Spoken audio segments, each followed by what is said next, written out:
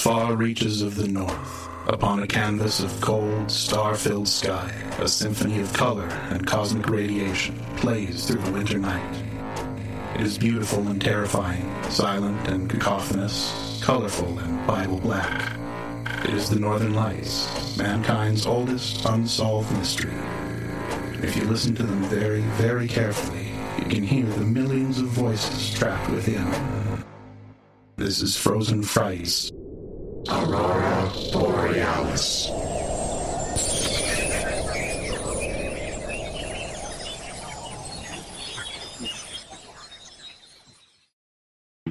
Hey there, this is Jeff from the Icebox Radio Theater, jumping in before the show to remind you that we couldn't make these plays. That's from the horror to the comedy to the old time radio recreations without the help of you, our wonderful listener. Of course, financial assistance is always great, and you can learn more about that at our website.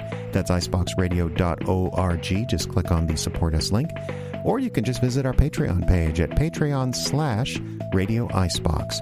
But a great and free way to help us out here at the Icebox Radio Theater is to leave a five star rating of our shows and series wherever you catch your podcasts Apple Podcasts, iTunes, Spotify, YouTube, one of the millions of podcatchers at the Play or App Stores.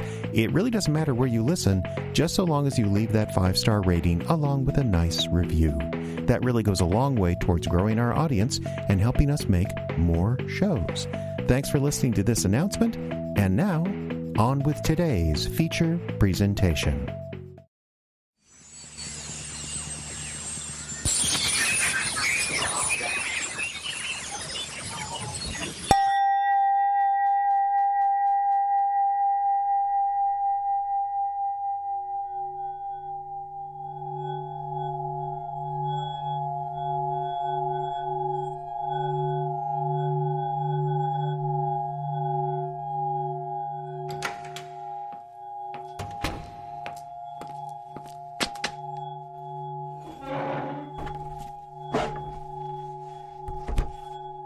So, do you know why you're here?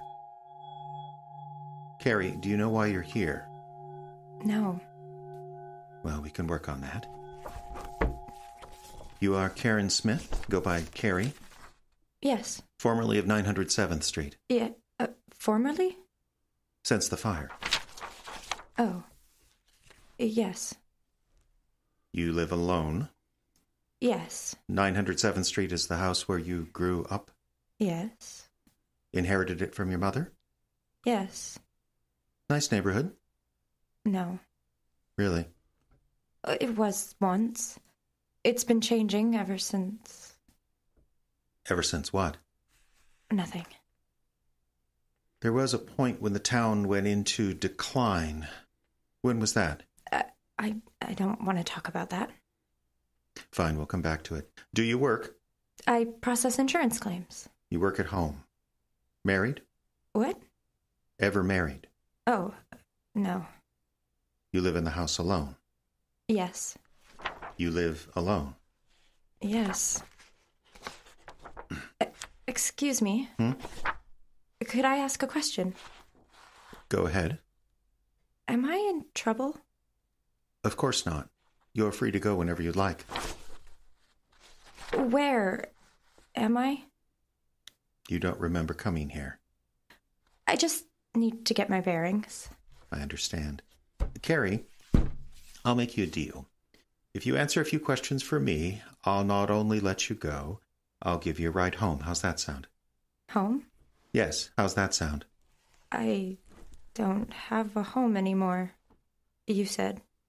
A ride to a hotel then. How's how's that sound? Okay. I guess. Let's start then. The fire. What do you remember about the fire? Nothing, really. Take your time. I, uh, Just take your time. I remember being dragged back to the house. Who dragged you? Who dragged you back to the house? I think it was Al, Al? Who's that? uh, my neighbor. Uh, he, he was my neighbor. His house was on fire. Al was your neighbor, Yes. and he dragged you to safety. No. Come back here. He was trying to drag me back into the house. Back into the fire.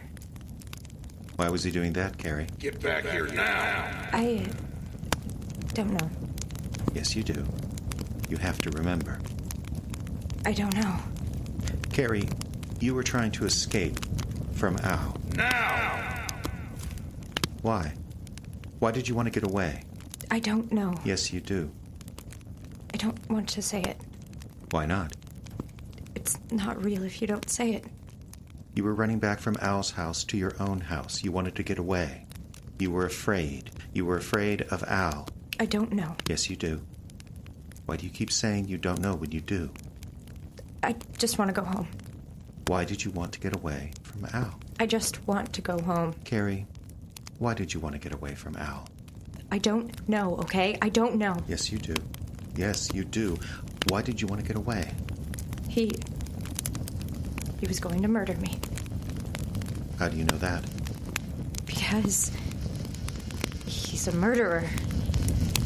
Murdered them all.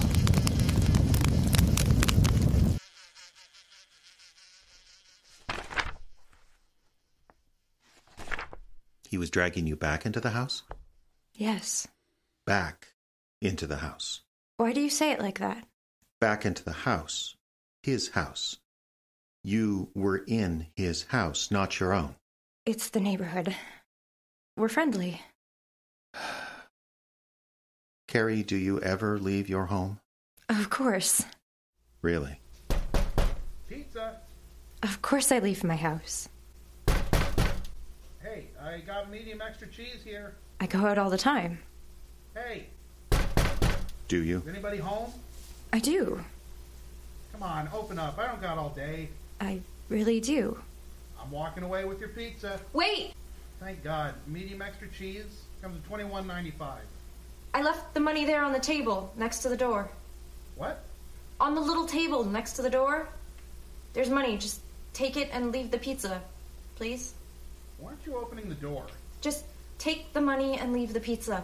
Fine, whatever. Hey, there's not enough here. What? There's only a twenty. It comes to twenty one ninety five. But I had a coupon. Twenty one ninety five, lady. Come on. Come on, it's only two bucks. Fine, keep the damn pie. We're not delivering to this house anymore, got it? You got a reputation. This address is on a list. Just call Domino's or somebody from now on. Never? No, Why don't you leave the house, Carrie? I don't know. You're agoraphobic, aren't you? No. No, the doctor said. what doctor? He said I wasn't. What doctor, Carrie? Mama took me to see him. What doctor? I don't know, I was little. She said I was a terror. I'd throw tantrums if I had to go to school. I thought you said you went to school. I did. I did. It just wasn't easy. Did you have friends in school, Carrie? Not really. Did you do things, activities? Band. Clarinet. I hated it. You hated the clarinet. No, that part was fine. It's easy to fake in the orchestra, you know. Blow really quiet and do the fingering, and the teacher thinks you're playing. I wasn't, though. I couldn't stand it when I played bad. Bad note on clarinet, it's really loud, you know? You didn't want to be there in school. No. You wanted to be home. Yes. You always wanted to be home. Yes. The neighborhood. Yes? The neighborhood used to be nice. And that's why you wanted to be home. Yes. But the neighborhood isn't nice anymore? Why did you go next door? Why did you go to the neighbor's house? I don't know. Let's back up a bit. You don't know why you went to Al's house next door, the murderer's house next door. No. Were you curious about him? No. You weren't, No. because according to my notes, you were obsessed with him. Carrie, were you obsessed with him? Carrie, Everyone was. why? Why was everyone obsessed with your next door neighbor, Al? Because He was the Icebox Strangler. Twenty years ago. Six people. People. Women. Victims. Everyone was crazy. My mom was scared she wouldn't let us play outside after dark, even though. Even though what, Carrie? Even though we all knew he was a sex criminal and we were just kids. Sex criminals attack kids sometimes. The Strangler wasn't like that. He liked old women. The papers all said so. Old, lonely women. Did you read a lot about the Strangler back then? I told you leave that newspaper alone. Mom didn't like it. Give you nightmares and then you keep me up all night. She didn't like how interested I was. Are you listening to me? What do you think? I don't know. You don't? Leave that stuff alone. It's not natural. She was worried about me. Worried. How? Worried I was changing. You know, changing like most kids do around then. You were only ten. I was early. Did you have a crush on the Icebox Strangler, Carrie? No, no, not natural. No. No. Did you ever dream of him taking you away? Not to murder, you understand, but just taking you away, sweeping you up, carrying you off. I guess. I, I don't know. Kids think strange things, don't they, Carrie? Is that one of my questions? No, it's not. So you were there in the house, Al's house. He's chasing you. How did you get away from him? I don't understand. Well, we know you went to his house and we know you searched it. At some point, he must have come home and found you, correct? I guess. Is that correct, Carrie? Is everything I just said correct? I don't know. You don't? Well, yes. Yes, that's how it happened? Yes. He found me there. Who are you? He found me in his house. What did he do? What the hell do you think you're doing? He grabbed at me. What are you doing? I couldn't get away at first. Why couldn't you get away? I was in the basement. There was only one way out. Why were you in the basement, Carrie? I was looking. Who are you?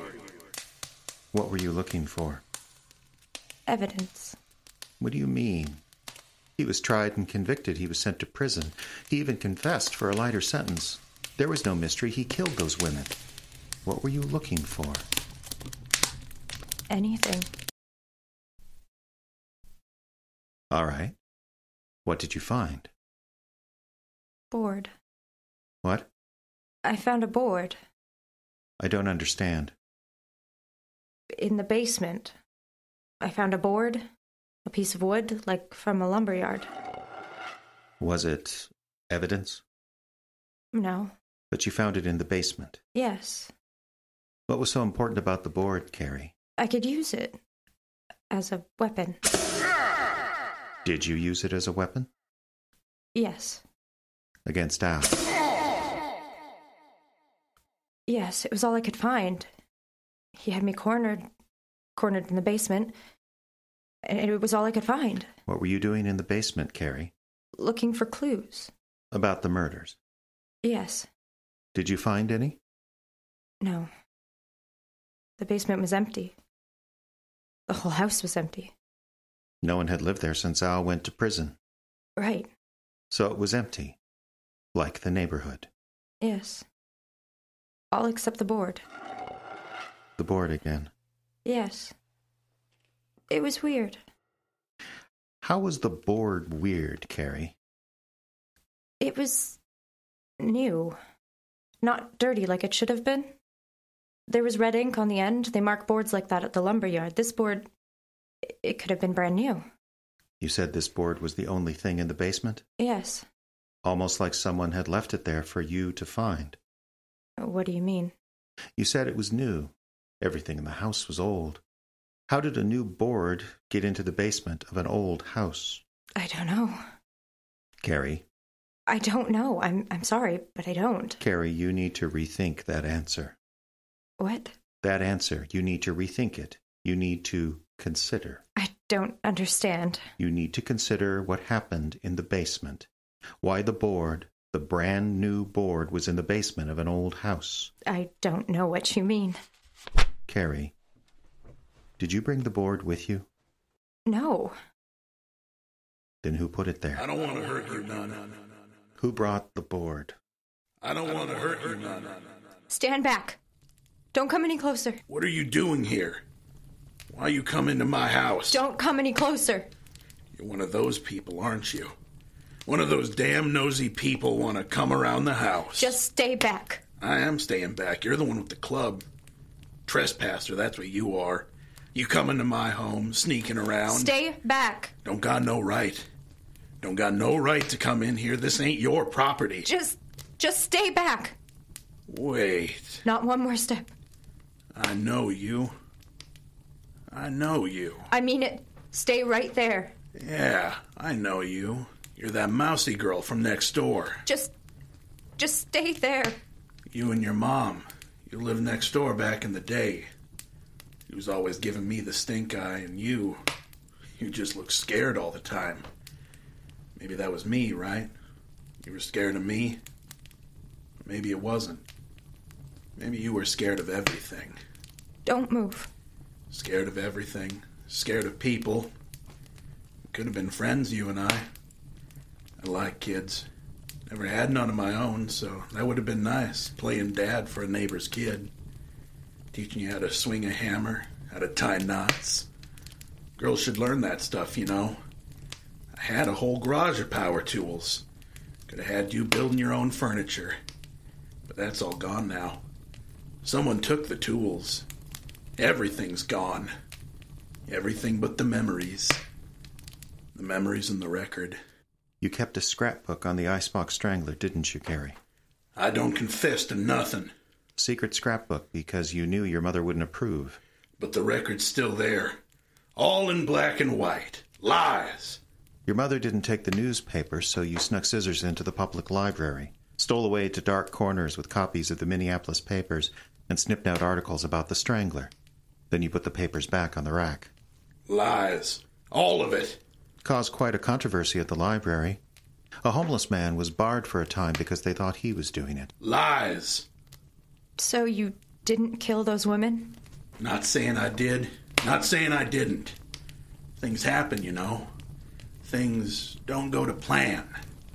Sometimes two people get together. You think it's going to be a nice time, and then a stupid broad says something. What happened, Carrie? I hit him. He took a step towards me, so I hit him. I hit him hard and I ran. I ran, and the house was already burning, so I ran out, and he caught me. And he tried to drag me back into the house. Trespassing. Work right. Back into the burning house. House was empty. There was nothing to see. You had no right to go inside. That's not true. Weren't your property. Didn't matter. Mattered to me. Why? Why didn't it matter, Carrie? Because he'd abandoned it. Because it was empty. No one was going to know.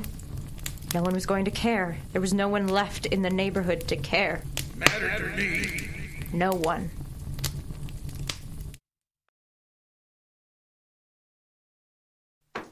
So, Al came home. What? You were in the house while you were searching for clues. Al came home. Yes. Had he been to the house before? No. Had he been to the house since he was arrested? No. But it was empty. What? The house, it was empty. Someone had emptied the house, right? I guess so. Who emptied out the house? Back when it happened, I mean, who emptied out the house? I don't remember. It was a long time ago. Things. Things have a way of just disappearing in this neighborhood. I had tools. I had all kinds of things. Did you take anything? What? From the house, did you take anything from the house when it all happened? No. Why not? It was right next door. I didn't. I. Yes? I didn't want to. One day I came home from school and there was a big lock on the door. The next day I came home and a truck was driving away from the house. After that I could tell it was empty. Did you look in the windows? Trespasser. No, I could just tell. How? How could you tell, Carrie? I could just tell. The house was empty. People would come, look in the windows, but my mother shooed them away. I did the same thing later What thing? shoo people away. There were a lot of gawkers early on. Then, when the internet started, more people found out about the Strangler. They came and looked. I shooed them away. It was none of their business. Why did you shoo them away? Mother never liked weirdos wandering around the neighborhood. They can get their jollies somewhere else, she used to say. Do you feel that way? They don't come around so much anymore, the weirdos. Why not? The house doesn't stand out so much now. It fits in. Let's go back. Let's go back to the moment you entered the house, Okay. the moment you crossed the threshold. What were you thinking? I don't know. You had to have been thinking something. I, I don't know. Carrie, you lived next to that place your entire life. You are obsessed with the Icebox Strangler. You have no life beyond him. I work. They've threatened to fire you many times, but they're having a difficult time keeping staff. You are obsessed, and yet you never cross the ten feet of scrub grass and dirt to his door.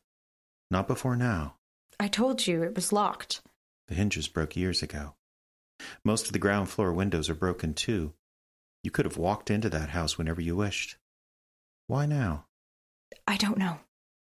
Carrie, you are a shut in. You are a person with no life outside the stained and peeling walls of your own house.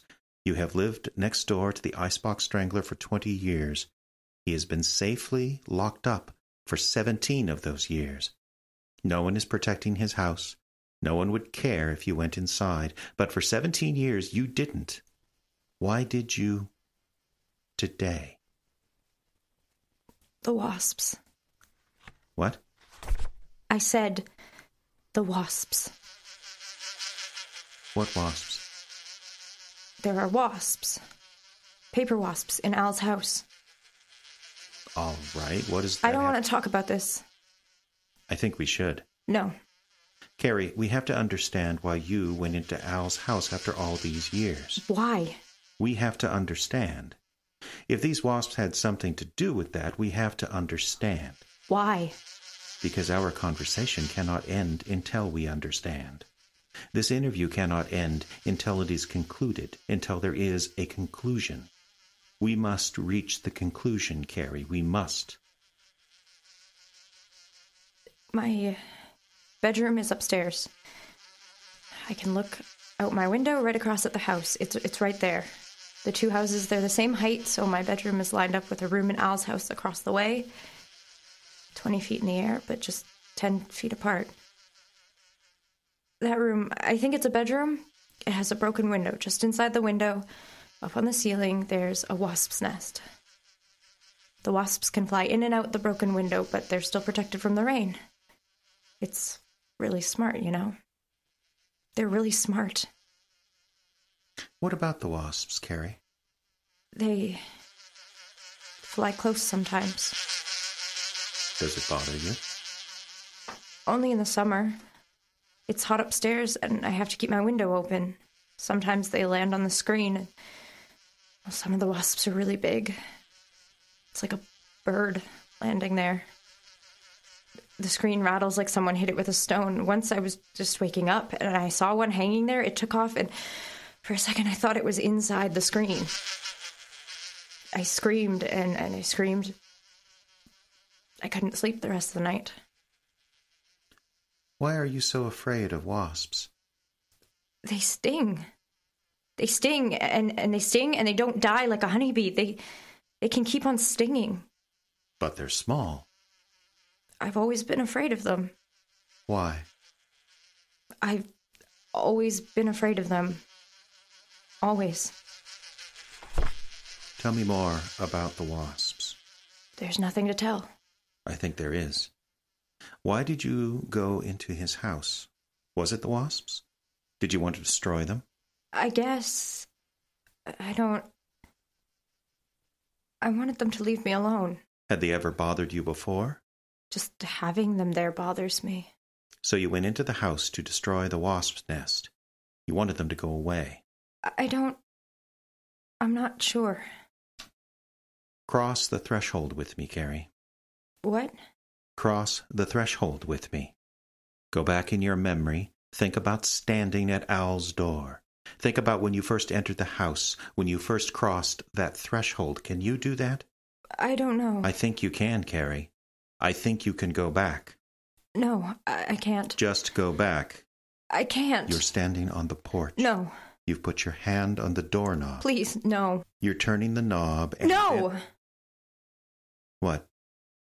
What is it? I didn't turn the knob. Go on. I didn't turn the knob because the door was ajar. I didn't turn the knob because the door was already open. I didn't have to turn it. Carrie, was there a light on in the house? Yes, Was Al already inside? Yes, You saw him enter? You saw him come up to the house and go inside? yes. Carrie, why did you follow Al into his house? I don't know. Why did you follow Al into his house? I don't know. Yes, you do. You have to. People don't change, Carrie. People are creatures of habit. They have rules, rules for everything. They have rules for which products to buy, what food to eat, what programs and videos to watch. Some people can break rules. You are not one of those people, Carrie. You don't break. You persevere. You keep going in the same direction like a train. Who are you? I ask the questions here. I just want to know who you are. What is this place? Why are you asking me all these questions? To ascertain the situation. Why? Why is it so important? You really don't know, do you? I, I, I'm not. I don't. Why did you go into Al's house, Carrie? The wasps. They're full of poison. What? Poison. They're full of poison. Go on. You can tolerate a lot of poison, you know. If you take it in small enough doses, you can build up an immunity. That's interesting. Do you have an immunity, Carrie? No. I feel every sting. Why don't you start from the beginning and tell me what happened? Nothing. What? Nothing happened. Nothing has happened for years. He killed it. Who? Al? He was the icebox strangler. Killed it all. He killed six women. He killed more than that. And he didn't pay. So you wanted him to pay. He has to pay. You can't kill and not pay the price. What's the price, Carrie? Death by fire. Eternally burn. You set fire to the house. Yes. You went to the basement with armfuls of wood. Yes. You started the fire. It has to burn. Al, the wasps. Everything has to burn. Full of poison. Like a cancer. Right. Right. You get it, like a cancer. You burn out cancer, right? Burn it out of you? That's right, Carrie. You do. That house needed to burn. It would be safe then, wouldn't it? Yes. That's it. That's that's right. You set the fire. I had to. That's arson, Carrie. I'll confess. I'll go to jail. Do you think you're a hero? No. I'm just doing what anyone would. Saving your hometown from. what? From him. He's dead, Carrie. What? Al. He's dead. He died in prison. Years ago. No, no, no. He was an old man when he committed his crimes. Prison life is hard. Do you think he could have survived? I saw him. No, you didn't. You couldn't have. I know I saw him. Carrie, you set a fire that burned down Al's house and yours and damaged another abandoned place next door. No. The fire department was short staffed, so they had to focus on your house. It was the only one listed as occupied. No, that's not right. But you weren't home, were you? You were next door in the basement of Al's house. Looking for clues. Right. Looking for clues. The wood you brought was dry. There was no ventilation in the basement. The smoke had nowhere to go. Did you know, Carrie, that most people who die in fires don't burn? It's the smoke that gets them. I didn't know that. Eventually, of course, the rafters in the basement ceiling caught, then the walls and the floors upstairs. It was dry like kindling. It all came crashing down. I got out. There was no one on the block to call it in. All those abandoned houses. But I got out. It was dumb luck that the fire station was only two blocks away. A firefighter saw the smoke. Al's house was a total loss. Your house was a total loss, despite their best efforts. You don't understand. I got out. They're pouring water on the embers right now. The basement is full of charred wood and ash. I got out.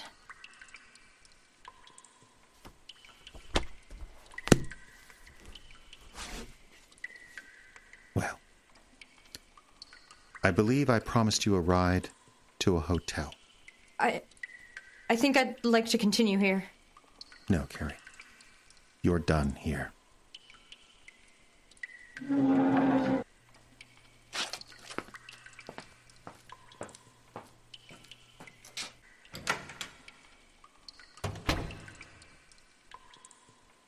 Hello?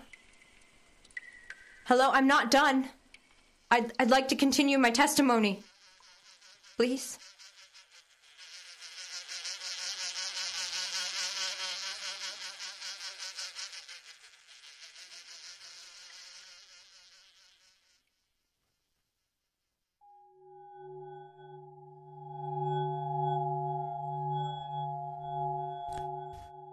You have been listening to Vacant, part of the Icebox Radio Theater series Frozen Frights, Aurora Borealis. Your cast featured Trelawney Erwin as Carrie, Jeffrey Adams as the narrator, and Justin Kapla was Al. Other voices provided by the talented cast. Story, script, and direction by Jeffrey Adams, who also created the sound design. Some sound effects by the Freesound Project at freesound.org.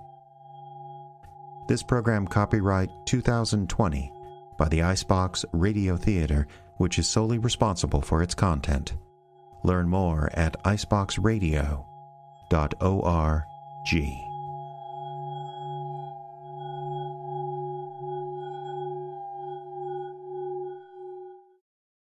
The Icebox Radio Theater's Frozen Frights, Aurora Borealis, is made possible in part by the voters of Minnesota through a grant from the Arrowhead Regional Arts Council, thanks to a legislative appropriation from the Arts and Cultural Heritage Fund.